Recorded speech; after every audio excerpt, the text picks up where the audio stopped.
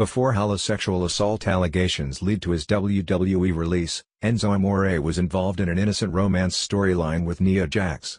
However, Amore just revealed that the angle was destined for a seedy WrestleMania twist. In an interview with the Store Horseman podcast, the former Cruiserweight champion spilled on the unrealized chapters of he and Jax's love story. Citing conversations with Vince McMahon, Enzo shared the setup for his dirty romantic trick.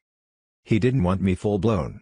He had plans to make me full-blown, heel, that nobody else knew about, not even the other people that were involved in it, he said. Before Enzo and Jax were an item, Alexa Bliss and Jax were on-camera best friends.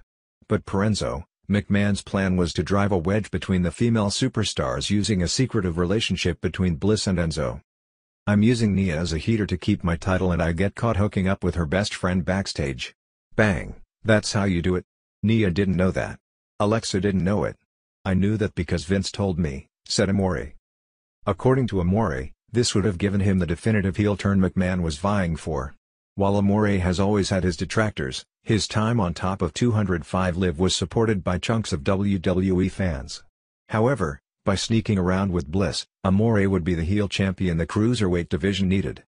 We actually spoke to Jax in May about this very storyline and Amore's claims that only he and McMahon knew the finish appears to be true.